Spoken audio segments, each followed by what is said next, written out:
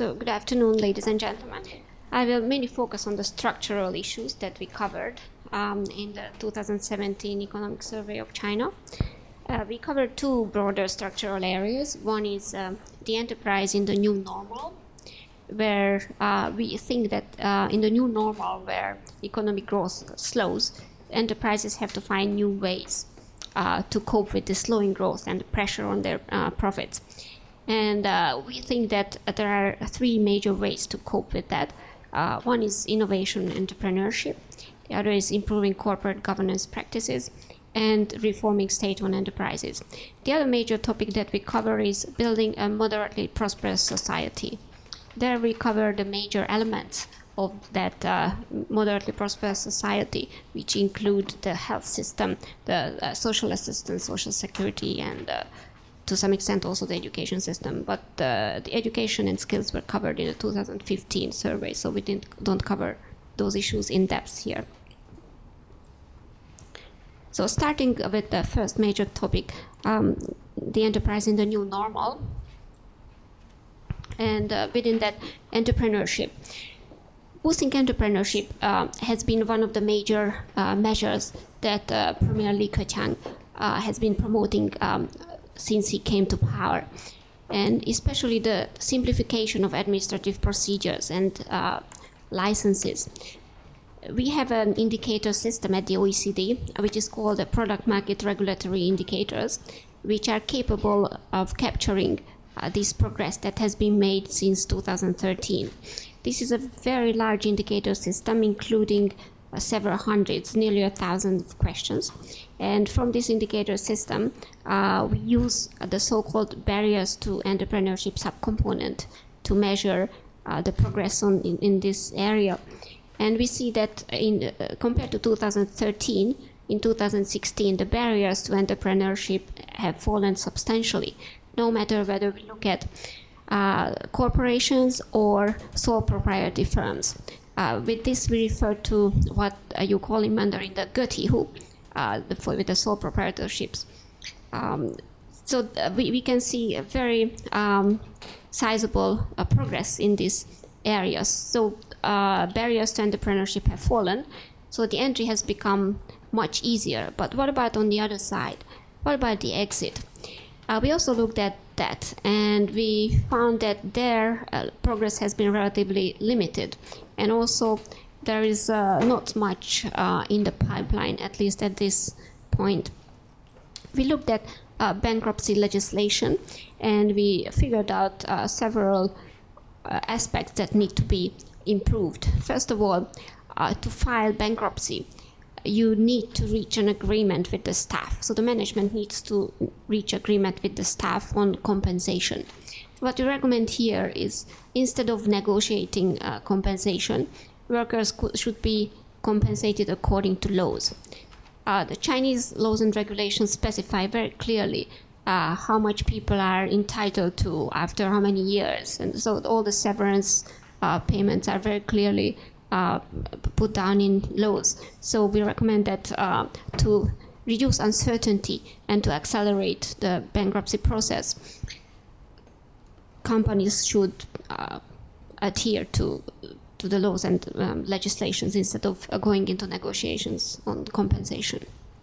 And um, no wonder why the share of bankruptcies has been uh, very low as a, as a share of um, firms exiting through bankruptcy uh, is even less than uh, 1%, it's 0.23%, as we see in this chart.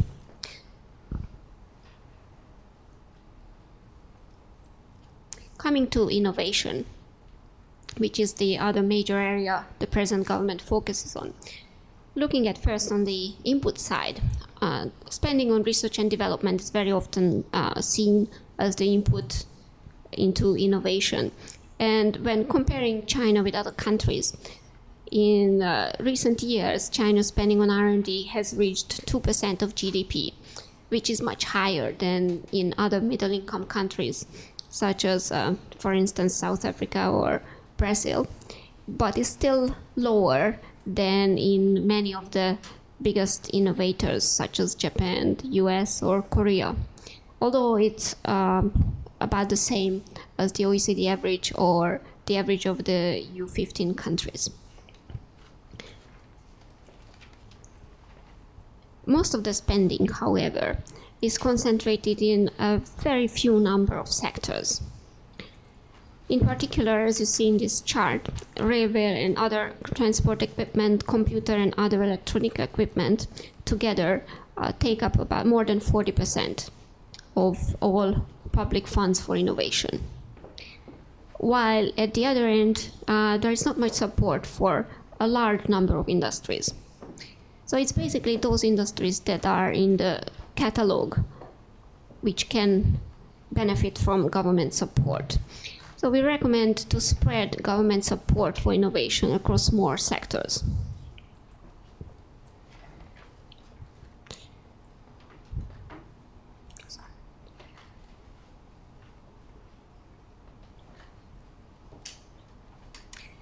So we have seen um, on the input side a very fast rise.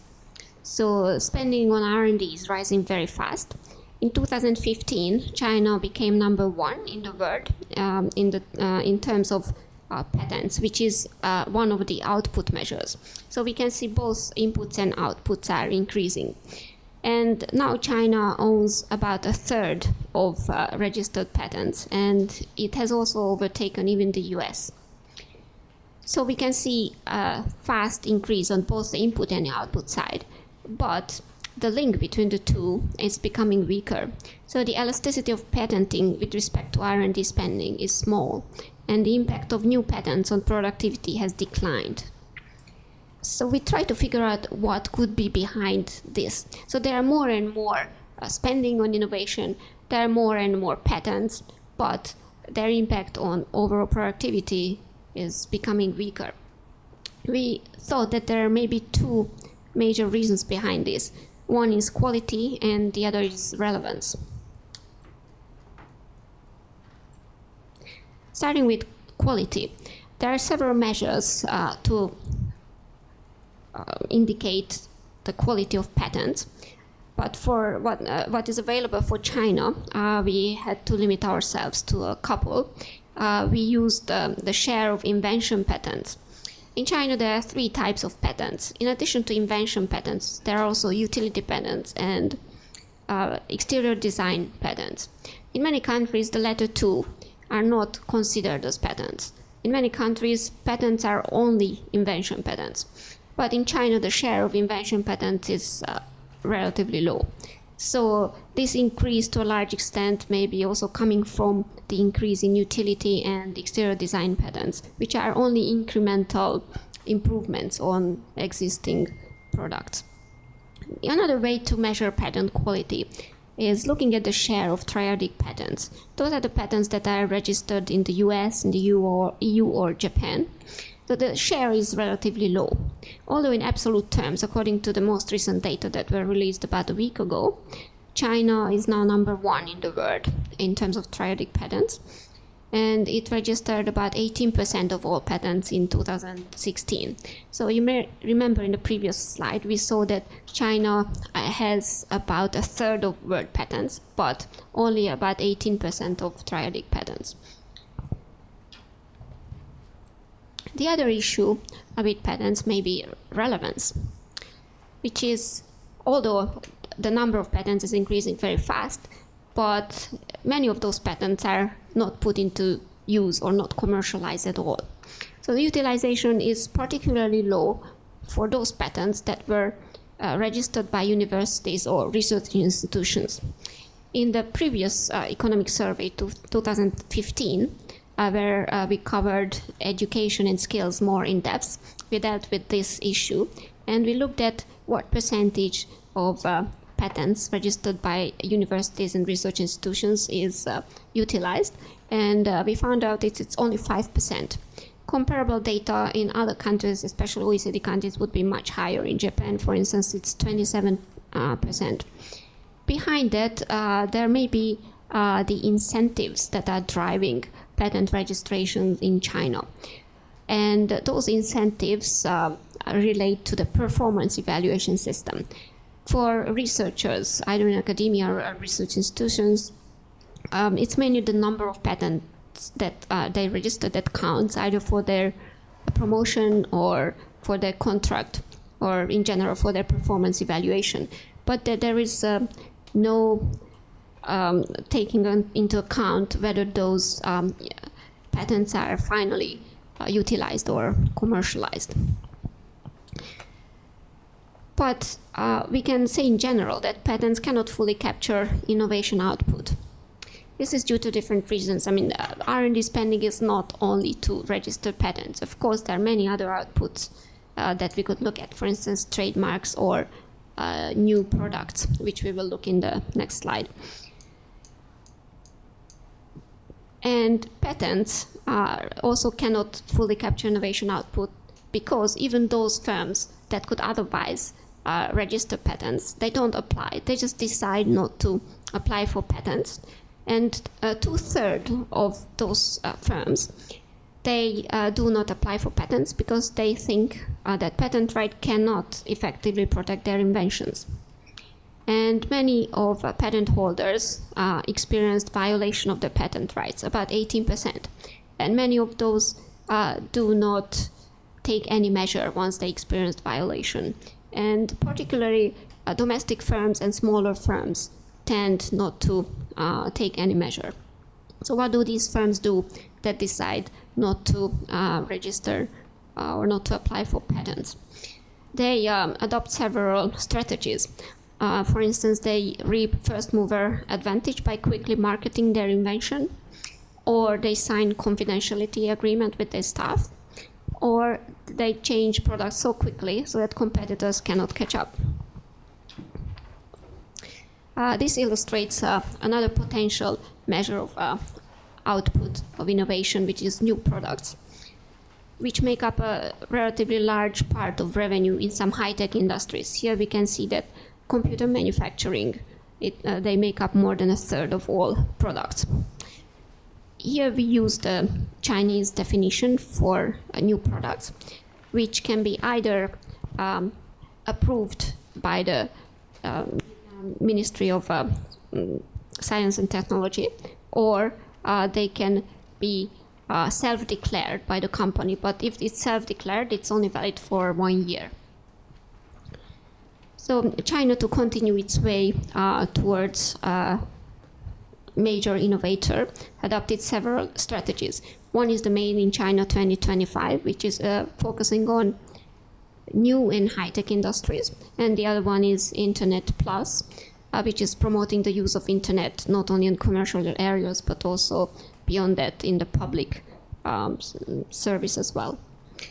Uh, we, however, highlight in the report that um, for internet to play an even greater role in uh, every part of not just the economy but of the whole society, uh, costs need to be uh, reduced and the speed need to increase. The other way that we consider firms should um, look at when uh, considering improving performance is corporate governance. When we talk about corporate governance, um, very often we limit ourselves to listed firms because that's what corporate governance principles uh, include. The corporate governance principles in China are based on the OECD best practices. And now uh, they are being changed as uh, there have been several uh, developments since uh, those practices were adopted some years ago.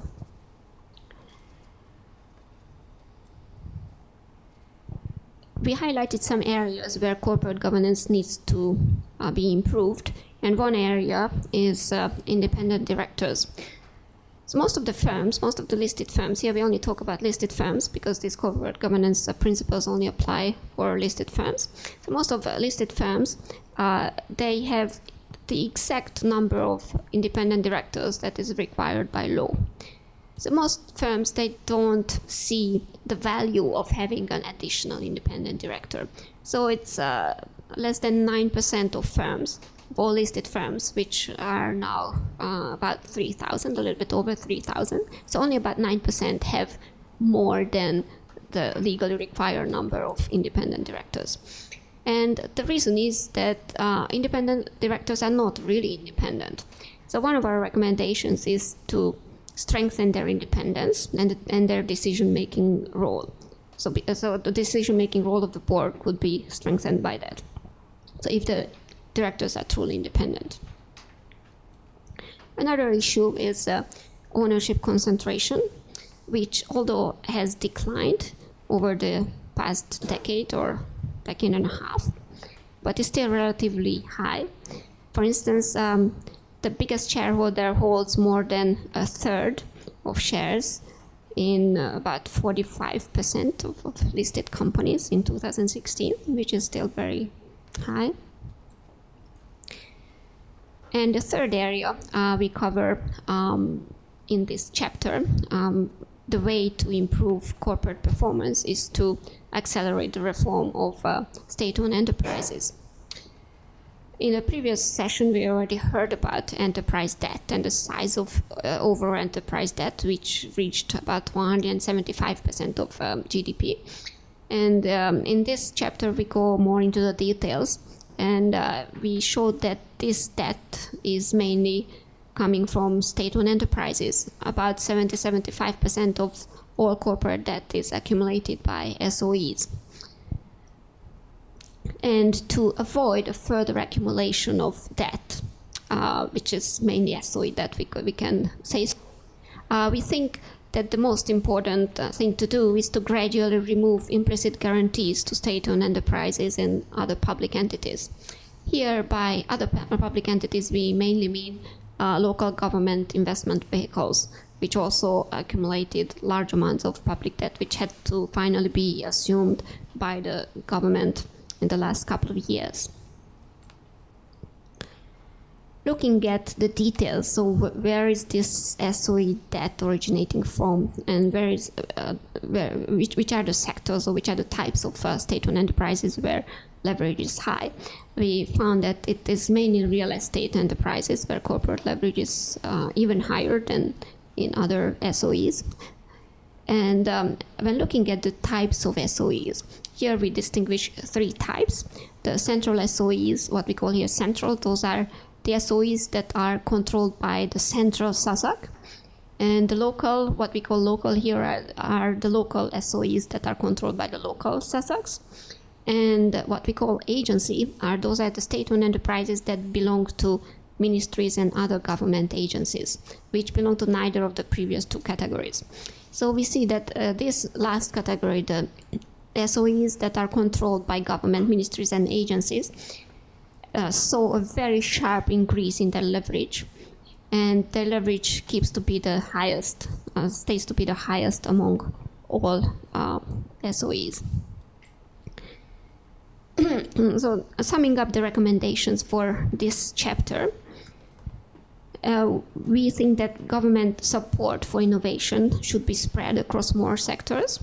But what is even more important in the area of innovation is strengthening intellectual property rights by uh, intellectual property right protection by more systematically prosecuting violators and raising fines.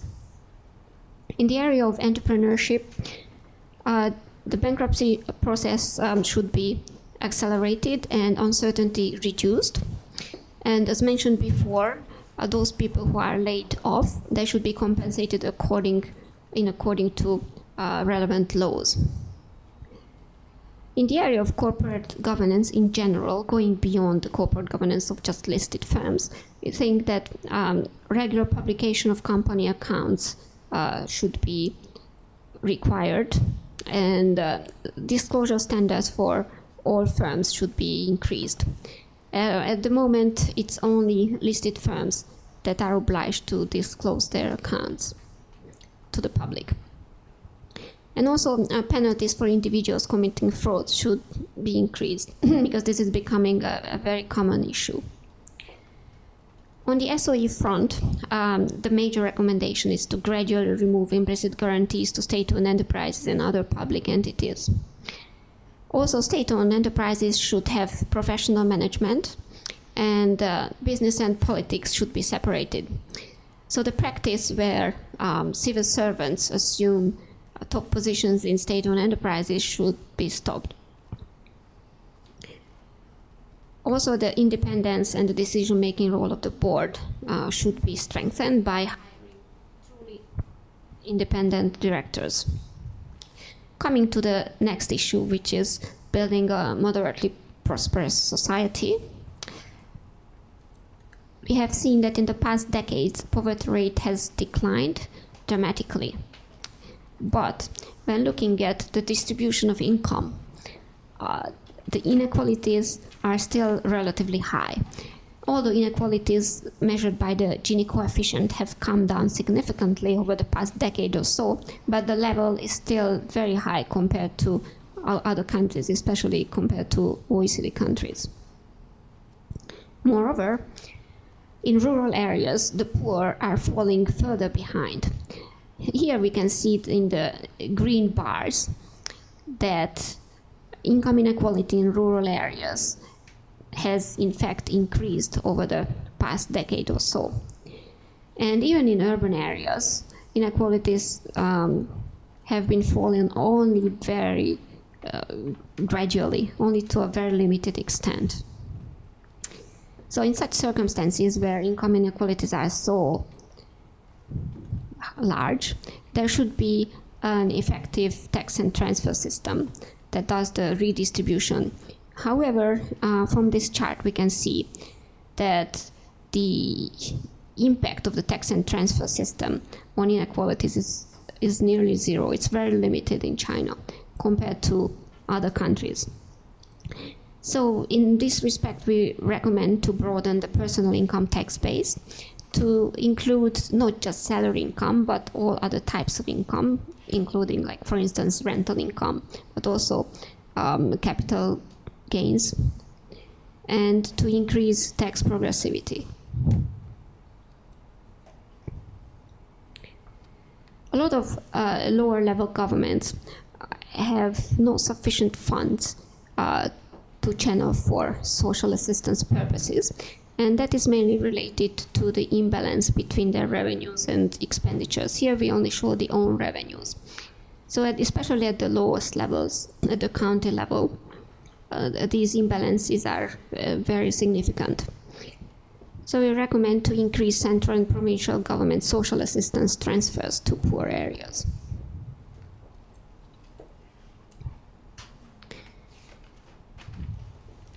The family background has a very large impact on student performance.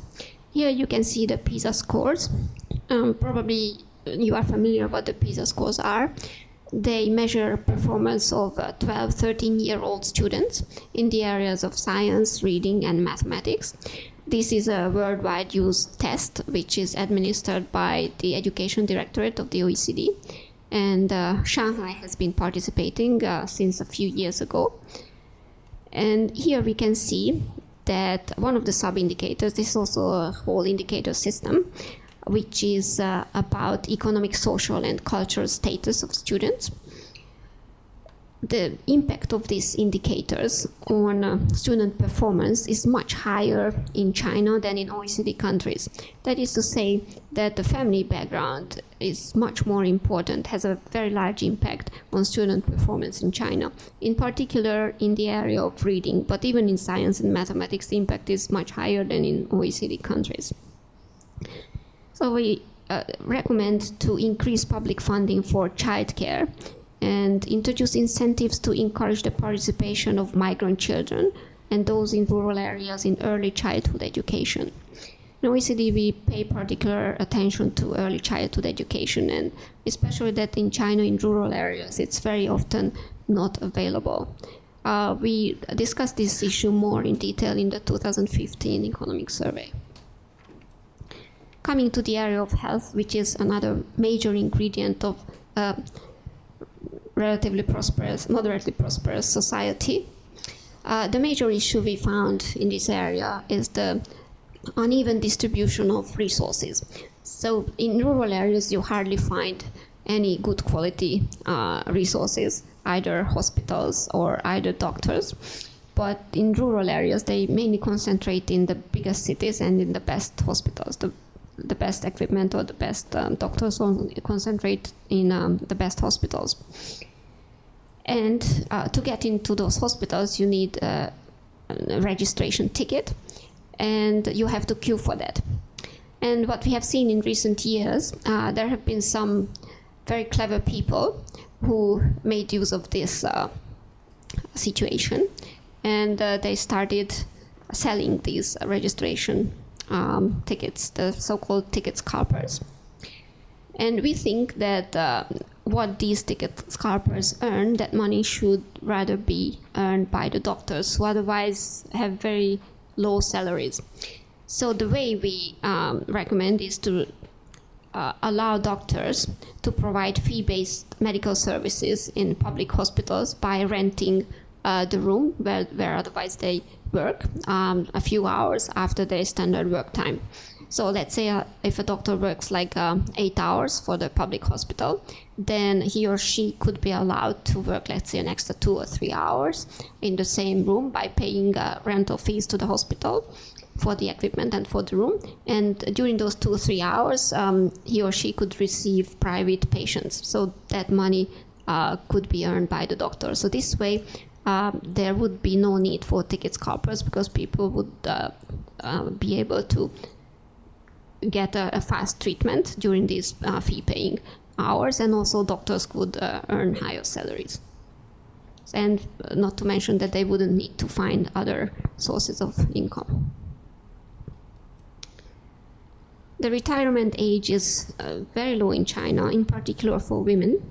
Here you see the triangles which show um, different retirement age for women than that for men, and there are very few countries uh, that uh, have a different retirement age for women, and China is one of those countries. So we recommend to gradually increase and unify the pension age to 65 and then index it to life expectancy. I mean, indexing to life expectancy, that's a best practice that we also recommend to other countries, also OECD countries. So to sum up the major recommendation in uh, the area of building a moderately prosperous society, we recommend to base social security contributions on actual income earned. So in the present system, uh, there is a, a minimal uh, fixed contribution that people have to pay, uh, irrelevant of how much they earn. So this uh, poses a high uh, burden on low-income earners. Then um, central and provincial government um, transfers should be increased to poorer areas so that those areas can spend more on social assistance. And to uh, re reduce inequalities, the personal income tax base should be broadened and uh, tax progressivity should be increased. Uh, inequalities uh, in income are high that we saw in the figures, but in wealth um, they are even higher. Uh, that is why we recommend to implement a broad-based nationwide recurrent property tax and consider an inheritance tax that could potentially include some basic inheritance allowance. I've just mentioned that the pension age should be unified at 65 uh, for both women and men and indexed to life expectancy. And also, uh, pension rights should be made portable, which is um, theoretically uh, has been implemented, but in practice, it's not very easy to draw pension rights in different locations from where uh, they were earned. Also, in the area of uh, childcare, as um, just mentioned, public funding should be increased, and um, especially migrant children should be taken care of. And um, yeah, the last one is that they just um, discussed how to increase doctors' salaries by allowing them to provide fee-based medical services. Thank you.